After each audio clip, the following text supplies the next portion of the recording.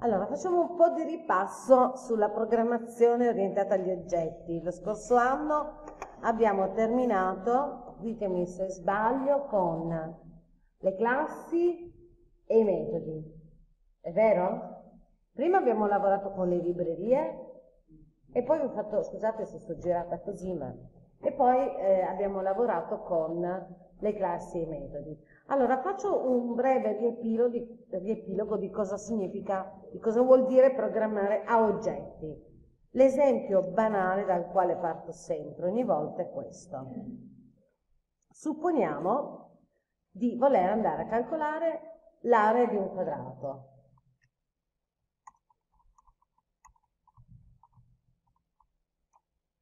E come fate a calcolare l'area di un quadrato? Noi tutto l'anno abbiamo lavorato in che modo? Chi è che si ricorda? Allora, si partì... Certo, quella è la formula, base per altezza che poi in realtà è lato al quadrato. Però si partiva dall'acquisire intanto il lato del quadrato in input. Poi una volta che il lato del quadrato in input è stato acquisito, si calcola il quadrato di questo lato e poi lo si va a ehm, memorizzare all'interno di una variabile utilizzando un'istruzione di assegnazione e poi lo si produce in output. Giusto? Questo era l'algoritmo banale del calcolo dell'area di un quadrato. Cosa vuol dire invece lavorare oggetti? Significa non porsi tanto la questione eh, su come la macchina deve fare le varie operazioni, perché pensare di inserire input Calcolare poi output significa ragionare così come la macchina ragiona o come, come esegue no, determinate operazioni. Ma eh, piuttosto invece ci concentriamo sui dati e guardate che da adesso in poi, anche in quinta, il nostro lavoro più grande sarà quello di cercare di creare un modello dei dati.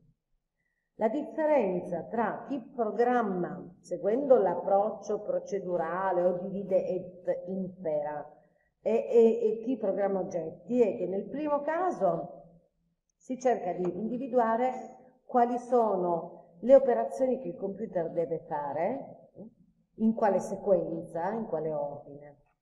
E, e quindi si definiscono degli algoritmi e basta.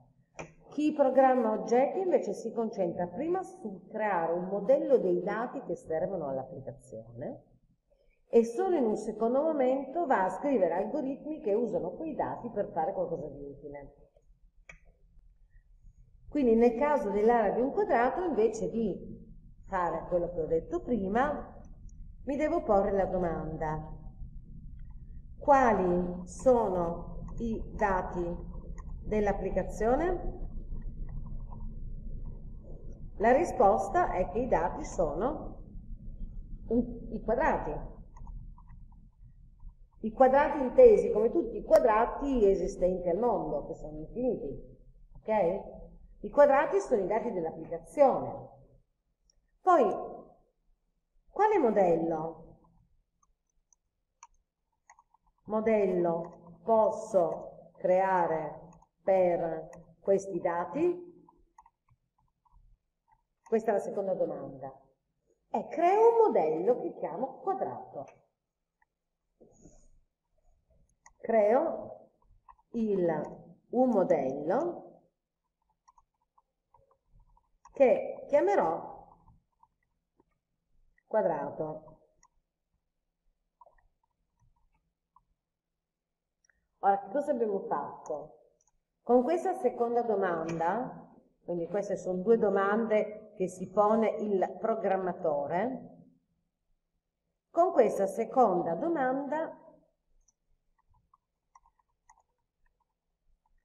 domanda e ovviamente anche la risposta, abbiamo definito un tipo di dato detto classe abbiamo fatto una classificazione. Guardate, questo è un procedimento che esiste anche al di là della programmazione dell'informatica.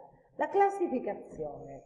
Quando io prendo un po' di cose riconosco in questi oggetti delle caratteristiche simili e le classifico. Per esempio, metto insieme un po' di libri gialli e li classifico come libro giallo. Metto insieme un po' di gelati alla fragola e li classifico come gelato alla fragola. Sono tutti diversi tra di loro, mica sono tutti uguali i gelati alla fragola. C'è quello in coppetta, c'è quello nel cono, c'è quello più grande, quello più piccolo, però sono tutti classificabili come gelato alla fragola. Ok? Quindi perché si chiama classe nella programmazione oggetti, il dato che io vado a definire? Proprio perché deriva da un processo di astrazione che è una classificazione. Cerco di riconoscere, no? deriva dal riconoscimento di proprietà comuni in oggetti che possono essere reali o virtuali. Questa operazione si chiama ehm, astrazione. Ora, da qui deriva che io sto definendo la classe quadrato. Definiamo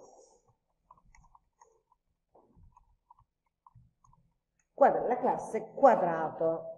Per convenzione chiamerò sempre le classi con dei nomi che hanno iniziale maiuscole, ma non è obbligatorio qua, parlando così. La classe quadrato. Allora, questo è il problema, eh? Il problema è calcolare l'area del quadrato. Definiamo la classe quadrato. Dobbiamo individuare tre cose. Il nome. Poi i suoi attributi o comunque le proprietà che abbiamo appunto individuato negli oggetti comuni, quindi le proprietà. E poi i comportamenti, le operazioni, chiamiamole operazioni che forse si capiscono meglio, operazioni che le proprietà descrivono. Gli oggetti della classe, per esempio il gelato alla fragola come proprietà ha il colore che normalmente è rosa, poi ha magari come consistenza una consistenza granulosa perché se è fatto con la fragola, dentro la fragola ci sono quei pallini neri no? che danno una granulosità al, al gelato e poi è freddo, no? magari ha una temperatura che deve essere maggiore di, di un certo tipo e così via. Naturalmente poi potrei anche dire che esiste l'oggetto non gelato alla fragola ma gelato, cioè l'oggetto, scusate, la classe gelato. In questo caso perché? Perché non mi interessano tanto i dettagli, cioè non voglio rappresentare il gelato alla fragola, voglio rappresentare tutti i gelati. Allora in quel caso le proprietà quali saranno? Tipo di gelato, cono, coppetta, eh, gusti, o gusto, eh, gusti un array, un insieme di gusti diversi eh, e così via. Quindi a seconda del problema che io sto, su cui sto lavorando, eh, le varie astrazioni, quindi il modello di dati che mi viene fuori è diverso, non è sempre uguale, dipende dal dominio, diciamo, cioè da quello sto, su cui sto lavorando.